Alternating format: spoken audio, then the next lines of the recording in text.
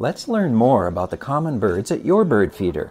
This video counts down the 10 most common feeder birds in the state. For each species, we discuss range, habitat, behavior, identification, and the foods they eat at your bird feeder. Let's get right to it. Abert's Towhee Abert's towhees are year-round residents in southern and western Arizona, barely reaching adjacent states. These birds like dense brush and cottonwood willow streamsides in the Sonoran Desert. Also look for them under dense bushes in residential areas. They spend much time on the ground scratching in the leaf litter for insect food. They are large sparrows, larger than house sparrows and white-crowned sparrows. They are smaller than starlings and robins. They are quite plump, with a large round head and full rounded tail. The pale pink bill is large and thick at the base, but short. Birds are dusty brown with black on the face around the bill. They have dark cinnamon undertail coverts. Genders are identical. In your backyard, water is more important than seeds for attracting Abert's towhees. Gambel's quail. Gambel's quail are common birds in the southwestern deserts. They are year-round residents from southeastern California to southwestern Colorado and western Texas and into western Mexico. These birds are found throughout the Sonoran Desert and adjacent areas of the Chihuahuan, Mojave, and Great Basin deserts. They occur in mesquite and other brushy desert plants and cacti. They are most common in washes and river valleys and towns. They prefer to run rather than fly. Desert scrub can support a surprising number of these birds, even if you only see a bird or two standing sentry for the covey. Their loud calls are a common desert sound. These birds are large but short, Thus, they are only as long as a jay, but more like a crow in body mass. They are plump with a small head and very short tail. Both genders have forward curving set of feathers sticking up from the forehead. Bills are short and small. Birds are blue-gray above, including the breast and tail. The hind neck is scaled with thin, dark feather edges. They have a chestnut patch on their sides and a creamy belly. Females are duller and browner. Males have a black face lined with white, a chestnut crown, and a black central belly patch. These marks are lacking in the female.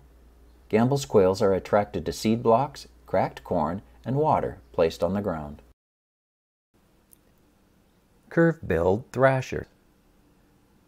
Curve-billed thrashers are common backyard birds in the southwest.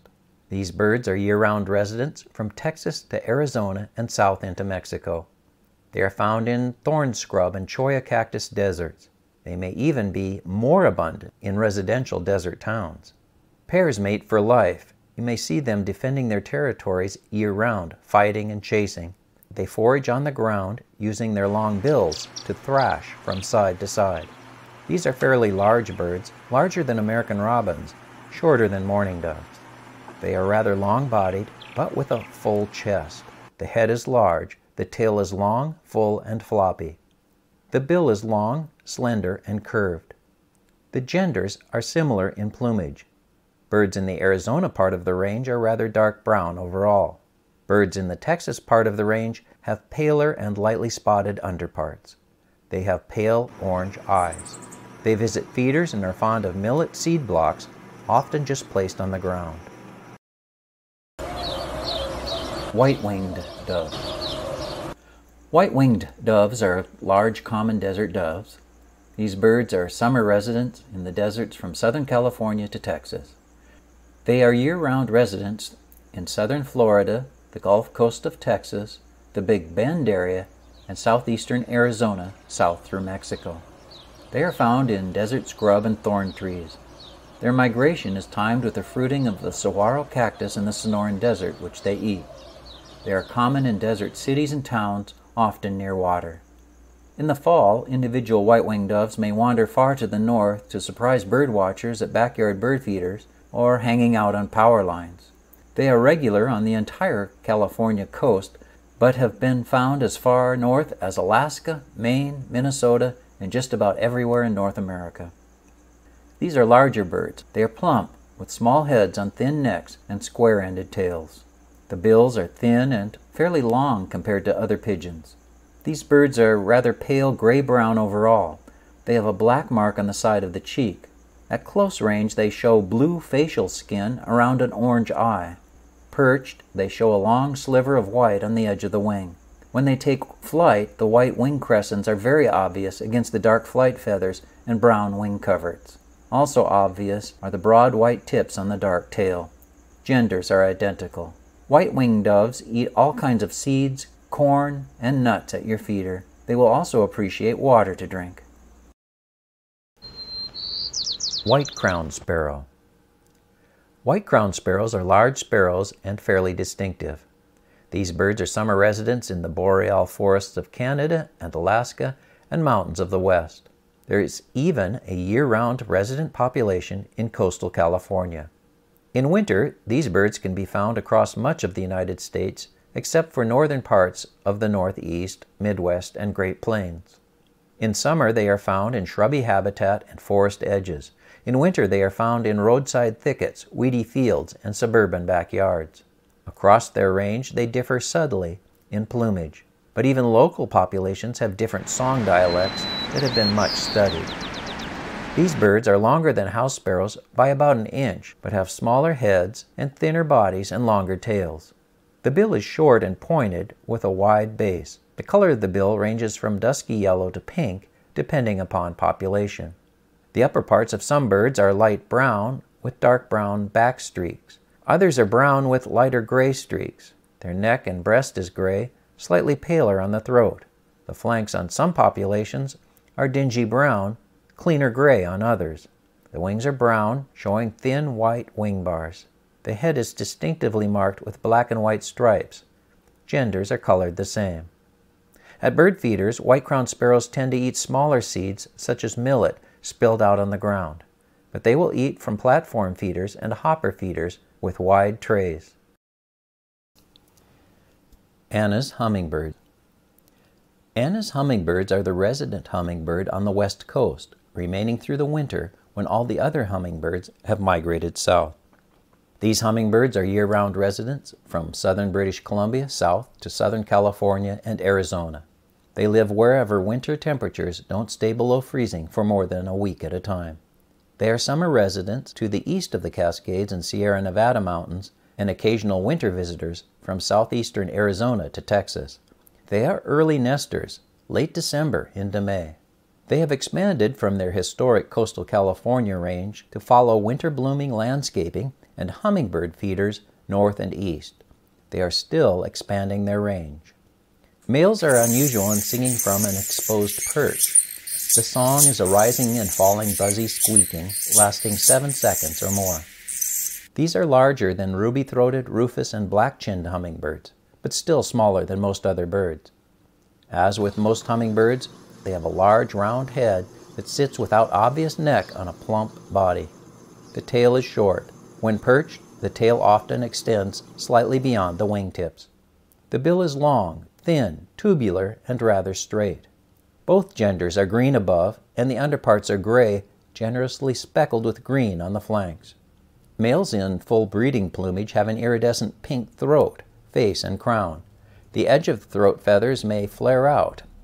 Immature males have the ruby pink restricted to the throat and advancing over the forehead. Females have gray throats, usually with a patch of iridescent green feathers in the lower center. They feed on spiders and insects and nectar, especially hummingbird feeders. Lesser goldfinches are the southwestern counterparts of the more northerly American goldfinches. These birds are year-round residents from southwestern Washington, south through California to Texas, and south into South America. In summer, they move northward from central Oregon to Colorado. They are found in oak woodlands, weedy fields, chaparral, and desert habitats, especially near water, but also residential areas. These birds are found in flocks through most of the year, pairing up in spring. Find them near sources of water.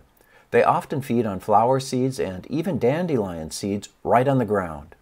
They are much smaller than house sparrows. They are smaller even than American goldfinches. They have long bodies and short forked tails. The head is quite round. The bill is triangular, short and pointed with a broad base. Males are entirely bright yellow below. The wings are blackish with a pale lower wing bar and broad white wing bases to the primaries. The upper parts vary, Western males are green above with a black cap. Texas birds tend to have entirely black upper parts. Many are somewhat in between. Unlike American goldfinches, the plumage of lesser goldfinches remains bright all year long. Females and immatures are rather brownish green above, yellowish below. They have pale edges on the wing coverts and tertials. At your feeder, lesser goldfinches love Niger seed and black oil sunflower seeds. They are also attracted to bird baths. Gila woodpecker. Gila woodpeckers are boisterous and common birds of the Sonoran Desert. These birds are year-round residents in southern Arizona and south into western Mexico. They barely reach into southern California and southwestern New Mexico. They associate strongly with the saguaro cactus in which they nest and the fruit of which they eat in summer. They are also well adapted to living in desert towns. These are active birds, flying and chasing and calling often and loudly. They drill holes in just about everything palm trees, wooden telephone poles, house siding, even stucco. They are a bit larger than starlings. They have a stocky body, large head, and short, wedge shaped tail. The bill is long and chisel shaped. These birds are tan colored on the head and body with a faint yellow belly. The back, wings, and tail are barred with black and white. Males have a red cap on the crown. Gila woodpeckers will eat nuts, seeds, suet, and nectar from oriole and hummingbird feeders. House finch. House finches used to be only found in the west, but are now common at feeders coast to coast. These are year-round residents across the United States and Mexico. As their name suggests, they are common in residential yards across the United States. They are also found in canyonlands in the west. They are rare or absent in extensive grasslands or high mountains. These birds are found in flocks throughout the year. They give lively, warbled song and chirps. They may feed on the ground, but when frightened, they fly up into the higher parts of a tree to keep an eye on the intruder. Similar looking sparrows will dive into the nearest low cover and hide. House finches are smaller birds, a bit smaller than the widespread house sparrows. They often appear long and slim, with a rounded head and medium long tail that has a shallow notch. The bill is short and thick at the base. The upper ridge of the bill is curved. Males are streaky gray-brown on the upper parts. The sides and flanks are streaked broadly with brown lines. These red-headed finches have red or red-orange concentrated on their foreheads and eyebrow stripe, upper chest, and rump. Females are rather streaky, as the males, without any red color. Their head is evenly marked with short streaks throughout, not showing any pattern. House finches love black oil sunflower seeds from tube feeders. Mourning Dove The mournful summer song of mourning doves is familiar to most, even if they don't know what bird makes the sound. They are found across the United States as year-round residents. Birds summer in the northern Great Plains and south central Canada, but withdraw in the winter. These birds are found in towns and farms, and open country with scattered trees, often along rivers. In spring, they sing from power lines in residential areas. They may puff out their chests while cooing from the peak of your roof. These birds are much larger than European starlings, but also much smaller than American crows.